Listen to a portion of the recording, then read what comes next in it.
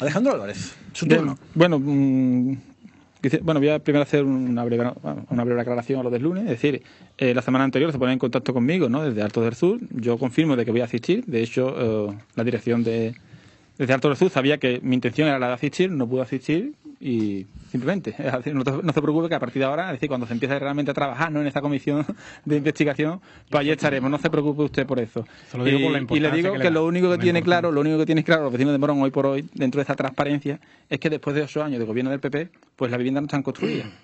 Aquellas viviendas, aquella gran mentira, ¿no? Que decían que las viviendas iban a estar construidas a 8 millones de pesetas, esos grandes carteles, es decir, eso, eso es lo, lo que el ciudadano ve, lo que el ciudadano entiende, ¿de acuerdo? Y precisamente esta comisión de, de- esta, esta comisión de investigación lo que pretende es dilucidar que qué ha pasado con esa, con esos terrenos, que por qué esas viviendas que supuestamente se iban a disfrutar no se están disfrutando hoy.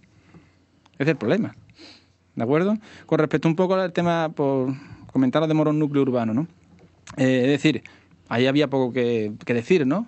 Es decir, en, su día, pues el Pleno decidió que estos señores tuvieran una opción de compra sobre ese terreno, ¿de acuerdo? Fue la legislatura anterior y ellos simplemente pues estaban haciendo uso de ese derecho. Mm, Casi no terminaba de comprender por qué tenía que ir a Pleno, ¿no? Es decir, si en el Pleno en un momento dado se hubiese negado a esto, pues se hubiese abierto una cuestión judicial pues que vamos iba a favor de, de estos señores que en su día pues optaron a hacer pliego de condiciones y tienen derecho a hacerse con el terreno eh, que esa inversión, porque es gracioso, porque ya, es decir, nosotros ya hemos perdido el control sobre todo, sobre esta inversión y sobre este suelo, porque aquí lo que como bien ha, en los términos que se ha utilizado, ¿no? Lo que es eh, esta compra parece que puede ser, es decir, que puede ser la solución, que parece ser que se va a invertir, pero todo parece ser. ¿De acuerdo? A mí cada vez me recuerda más el- este centro comercial a lo que pasó con, con, el, con el famoso Balme, Hiperbalme en su día. ¿sí? Que después pasó a hacer un, un- Carrefour, no, era otro centro comercial. No me acuerdo ahora mismo. Es decir, que todo el mundo conoce que está allí en la, Alameda, ¿no? Es decir, teníamos un, espacio público que era de todos los vecinos a un bajo precio. Pues pasa a manos de, de Balme, porque supuestamente iba a ser una gran inversión que iba a revolucionar el comercio en Morón, y lo que, lo que se está demostrando es que las grandes superficies lo que hacen es hundir al comercio local, que habrá que ver hasta qué punto pues, es rentable o no es rentable el hecho de que en Morón tengamos más centros comerciales, bueno, centros comerciales más grandes superficies que en ningún otro sitio que quizás de España, ¿no? Entonces, es decir, un terreno público que era de todos los vecinos, pues al final los quien lo termina disfrutando es una empresa privada. ¿Que va a reactivar el comercio en Morón? Pues quizás habrá que poner eso en cuarentena. Desde luego aquí lo que está claro es que, en todo caso, parece ser que puede ser la solución, que para ti, que para tal. Pero bueno, realmente, como digo, mantengo mi, mi duda. Y con respecto, sí, bueno, y con respecto al tema un poco, ¿no? A la moción de, de- de la ratio 20, ¿no? Nosotros en nuestra moción hicimos una doble crítica, ¿no? Porque si tan importante se considera el tema de la educación en Morón, ¿por qué las inversiones que se hacen en los colegios, ¿de acuerdo? Han, teni- han tenido que venir a golpe, ¿no? De, de lucha por parte de los padres. Es decir, aquí no ha habido disposición por parte del equipo de gobierno a lo largo de estos ocho años en realmente invertir en los colegios. Y recordad que hoy por hoy eh, el tema, es decir, los colegios están, los colegios están pagando el día a día, es decir, lo que son gastos de limpieza, lo que es el gasto de, material, es decir, cosa que no le corresponde, es el mismo colegio quien tiene que poner ese dinero sobre la mesa. Porque desde el ayuntamiento no se está haciendo la gestión que se debe, que se debe de estar haciendo. Y me hace mucha gracia porque eh, me ha llegado a mis manos, llegó así una, una de las propuestas que los chavales hacían para los Reyes Magos, ¿no? Se les propuso a los chavales que hicieran unas propuestas eh, para el conjunto ¿no? de la clase en, uno de un, colegio público de Morón, pues resulta que dice, bueno, ¿qué queréis para, qué le pediríais a los reyes? Y los chavales llegaban a pedir que querían que los reyes la arreglasen en la clase para que ellos pudieran pintarla. Y todo esto viene a colación en el sentido de que si somos serios, ¿no? Cuando se hablaba del tema de, de las mociones que presentó el, el PSOE, ¿no? Sobre arreglo de la estación de autobuses, los arreglos de los aledaños de San Miguel, yo trasladé que si desde, desde el equipo de gobierno se fuese serio y realmente estuviesen por la labor de mantener en unas condiciones dignas todo lo que son nuestros espacios públicos, pues prácticamente se comería todo el presupuesto. Recuerda que, por ejemplo, eh, Alejandro. eh, nuestro pabellón deportivo tiene goteras. Y eso repercute muy negativamente, pues, entre, otro- entre otros al club de baloncesto, ¿no? Que mucho, que puede, que, que puede decir, que puede llegar a una situación que, es decir, que se tienen que trasladar a otro pabellón, todo eso puede contar con penalizaciones. Es decir, que en el tema del mantenimiento, la verdad, pues que se deja mucho que, que desear. Pedro. Sí, mm, dos breves comentarios en principio sobre el tema de la concesión de, de los locales que se hacen a la... Eh, bueno, ya nuestro portavoz, Juan Manuel Rodríguez, en el Pleno dejó caer un poco la pregunta y yo también la he hecho aquí, que no sé si hay más entidades de carácter sociocultural y sin ánimo de lucro que evidentemente estén demandando algún local del ayuntamiento. No sé si el señor Ramírez estaría en condiciones de poder contestar esa pregunta. Y evidentemente también sobre el tema de la opción de compra que ejerce la empresa que está gestionando lo que es el, centro Morón Urbano, evidentemente nosotros ya nos sumamos a, ese a esa propuesta porque ni más ni menos lo que hacen es ejercer un derecho que se recoge en el propio pliego de, las condiciones, pero eh, lo que sí me gustaría es dejar claro que ojalá esa decisión que se ha tomado sea fruto de una profunda reflexión que vaya orientada fundamentalmente a lo que decía dinamizar el comercio y poner en valor todo ese centro que realmente está pasando por un por un momento bastante difícil. En cuanto a las mociones del, Grupo Socialista, bueno, pues decir primero que presentamos una, una, moción para la mejora y el adecentamiento del entorno de la iglesia de San Miguel. Esto fue votada en contra por el Partido Popular. El señor delegado de Cultura argumentaba que, bueno, que allí ya se vienen haciendo muchísimas actuaciones y que el estado de deterioro que presenta concretamente, porque nosotros además matizábamos eh, cuál era la parte que no, no estábamos hablando de la siete revuelta, que evidentemente ha quedado bien, estamos hablando de lo que es la Plaza de la Soledad y el acceso a la, al, castillo de Maca, que yo presento en estado lamentable, nos lo, nos lo demandan los vecinos, nosotros incluso aportamos fotografías de aquel entorno y aquello requiere una actuación. Que se hacen actuaciones que dice el delegado de de cultura, que eso es fruto precisamente de la conducta incívica de determinados ciudadanos. Sí, pero hay que tener en cuenta que aquello es un espacio que tiene un interés turístico y cultural bastante importante porque está dentro de un entorno muy importante culturalmente hablando de, Morón de la Frontera y el equipo de gobierno es el que tiene la responsabilidad de mantener ese entorno y tomar las medidas oportunas que crea conveniente para que ese entorno siempre presente un estado decente. Y luego, evidentemente, eh, aquí sí que tenemos que agradecer porque fue, se, se, aprobó por unanimidad lo que son las mejoras y el adecentamiento de lo que es la estación de autobuses. Cualquier ciudadano que se pase por allí ya puede comprobar perfectamente en qué estado se encuentra aquello, sobre todo teniendo en cuenta la ubicación de, de, la, de la, estación de autobuses, que ya ah, también eh, con el tema del edificio de los juzgados y tal, cada vez son más personas las que afloran allí, se da la circunstancia de que ello presenta un estado lamentable. Desde aquí tenemos que agradecer, evidentemente, al equipo de gobierno que el propio señor Ramírez se comprometió en que no solamente iba a, no iba a esperar a que se librase una partida presupuestaria para el proyecto de actuación correspondiente para el próximo presupuesto 2011, sino que seguramente incluso nos encontraríamos con la sorpresa de que se arreglaría antes del 2011. El 2011 yo le recuerdo al señor Ramírez que ya está aquí y espero que bueno que de lo cual eh, eh, quedaríamos totalmente satisfechos, evidentemente. Antonio Ramírez, Partido Popular. vamos a ver, vamos a ir por partes.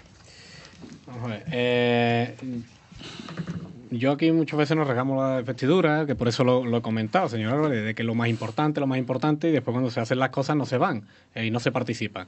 Que usted no es Izquierda Unida, hay más miembros de Izquierda Unida que podían haber participado. No, no, no, sabes sabe, bien que no. Entonces, bien que no. su turno, Alejandro. En su entonces, bueno, mm, entonces eso es lo que yo quiero mostrar, ¿no? Que aquí hay algunos que trabajamos y hacemos las cosas y otros que mm, trabajan de cara a la a la galería, ¿no? Entonces, bueno, también lo que sí es una realidad, señor Álvarez, lo que sí es una realidad ¿eh? es que el cine el cine está funcionando ahora mismo en Morón. Es una realidad. Usted que ha criticado ahora mismo, acaba de criticarlo, pero déjeme terminar, por favor. Las grandes superficies que acaba de terminar. ¿eh? El cine está aquí en Morón. Y antes había que ir a Utrera o había que ir a Sevilla. Igual que con el cine, con el teatro, igual que con la piscina cubierta, las personas que tenían que ir a rehabilitación tenían que ir a Utrera. Hoy en día esas son realidades que hay en Morón.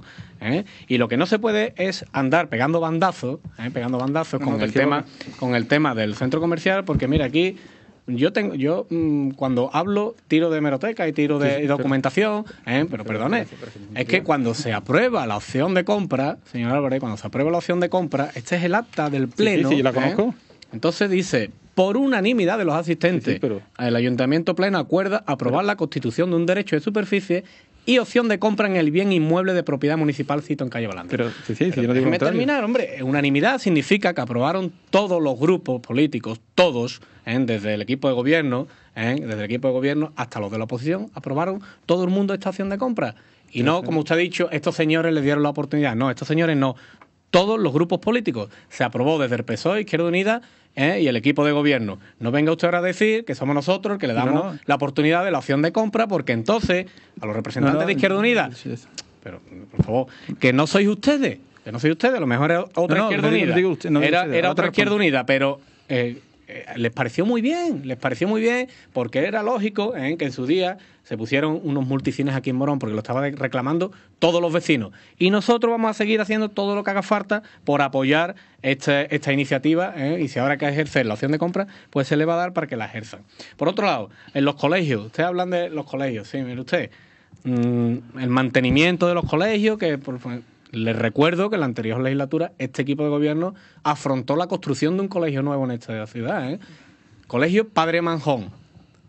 Colegio Padre Manjón. Lo hizo este equipo de gobierno con Manolo Morilla de alcalde. ¿Y quién lo pagó? Álvarez. ¿Y quién lo pagó? ¿Eh? ¿Quién lo, terminó pagando? Mire, lo pagó parte la Junta Andalucía. ¿Y por qué ah. parte? Porque la mayoría la tuvo que financiar el ayuntamiento. Como pasa siempre. Pero que, la, pagó la Junta Andalucía. ¿Eh? Como pasa siempre. por favor, Alejandro, por ¿Eh? favor. Y ahora le voy a decir que, estamos, que estamos financiando un gimnasio en el Colegio Primo de Rivera a nuestra costa, señor Álvarez, sin ningún solo euro de la Junta. Ni un euro, ni un euro nosotros, porque creemos que es importante que ese, que ese colegio tuviera un gimnasio. ¿eh? Y lo estamos haciendo a pulmón, por parte de este equipo de gobierno, poniendo los cuartos encima de la mesa, sin ninguna ayuda de la Junta de Andalucía. Y si quiere, les recuerdo la conversión de los colegios en TIC, porque nosotros hemos pillado ¿eh? los, los centros de alta eh, tecnologías ¿eh? que se han instaurado en Morón, como Luis Hernández, precisamente el primo de Rivera, todo eso tuvo que hacer una se tuvo que hacer una inversión importante en los colegios. Todo eso son importantes inversiones para mejorar la educación en nuestra localidad, señor Álvarez. Y eso lo hace este equipo de gobierno, este equipo de gobierno. Y por otro lado, bueno, ya sí me quiero centrar en el Partido Socialista, señor eh, Pedro. Un minuto y medio, ¿vale? Es que tengo que contestarle sí, sí, a los sí, dos. lo sé, lo sé. Por eso le doy un poquito más de tiempo. Nosotros, ah, yo ahora mismo no le podría contestar lo del tema de las asociaciones, eh, porque usted sabe perfectamente también que las asociaciones tienen que tener unos requisitos de estar inscritas en el, en el registro de asociaciones para poder un local. ¿no? Pero vamos, no me, me ofrezco para cuando quieran el ayuntamiento lo vemos sin ningún problema. Lo que sí quiero diferenciar es que, bueno, hay mociones reales que se pueden votar a favor, como demostró este equipo de gobierno, y hay mociones que van buscando el interés político. Y esas las vas a ver, las va a ver ahora eh, muy a menudo, porque estamos en plena campaña, en plenas elecciones, eh, y seguramente el Partido Socialista, que no ha presentado ese tipo de mociones en tres años, pues ahora cuando llegue el momento las presentará. Y esa moción de interés político era la de San Miguel, porque ustedes, señor eh, Pedro Ortiz, vais a hablar de San Miguel cuando este equipo de gobierno y vuelvo a reiterar, es el que más inversión ha hecho en San Miguel en toda la historia. Es que estamos hablando de San Miguel, estamos hablando, de, un, espacio y de concreto. Su entorno, y de su entorno. Es que usted no. me puede decir la plaza de la derecha. De la soledad, sí, sí. está, matizado en la estamos hablando, estamos hablando de San Miguel. Usted ha hablado de los alrededores de San Miguel. y ha hablado. Y, pregúntele usted a los vecinos de las Siete Revueltas. Pregúntele. Y hoy, o sea, y este fin de semana, por ejemplo, con la celebración de Arte Mercado, ya ha podido haber visitantes, o sea, ya ha habido visitantes que han visitado la Torre de San Miguel. Eso es un orgullo para Morón. Eso es un orgullo para Morón. ¿Eh? y con lo cual nosotros nos sentimos orgullosos. Porque ese eje turístico que, quería potenciar este equipo de gobierno, ¿eh? termino, ese eje turístico lo estamos potenciando poco a poco. Están en obra Santa Clara para el Museo de la Ciudad. Y vamos a potenciar todo lo que sea el turismo en Morón. Porque antes venía un, un bueno, una persona fuera de Morón y no sabía dónde ir. Hoy en día ya se le pueden ofrecer temas turísticos. Y entre ellos va a ser San Miguel en San Miguel es un patrimonio que está recuperando este equipo de gobierno. Y no solo San Miguel, sino el entorno, todo el entorno. Pasa que, como bien explicó mi compañero Fran, bueno, pues hay una serie de actos vandálicos que desde luego los vecinos mismos, y desde aquí hago un llamamiento, deberíamos de denunciar. ¿eh? de pintadas en patrimonios históricos que no se deberían de permitir, y bueno, y una serie de condicionantes que sería muy largo de explicar.